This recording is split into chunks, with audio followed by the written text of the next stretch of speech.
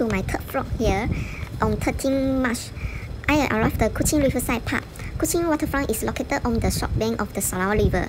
During the day, you can look at Astana and Magalomban by the river.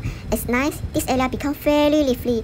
It seems that more than half of the people in the city come here to meet with friends, watch performance or enjoy purely cool night when to make this night a particularly novelty.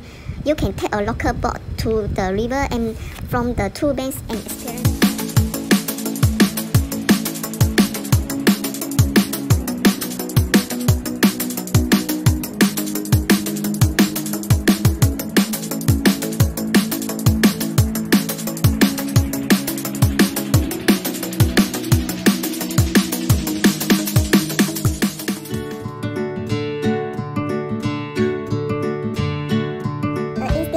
in Kuching is the downtown area of Kuching in the early days, and it is also close to the famous Riverside Park in Kuching, the place where people who love photography in Kuching go back, because there is the history of Kuching and the memories of grow up.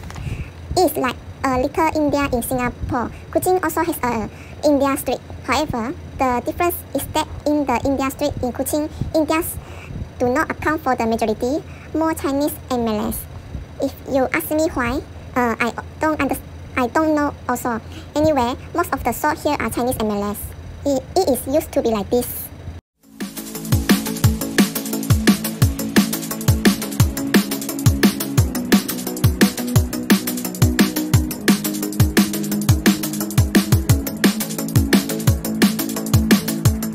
Now I will go to the Carpenter Street here.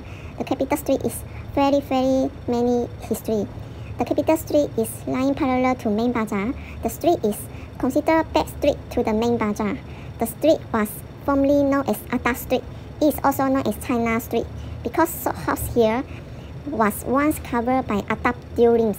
There were also carpenters working in their workshop here.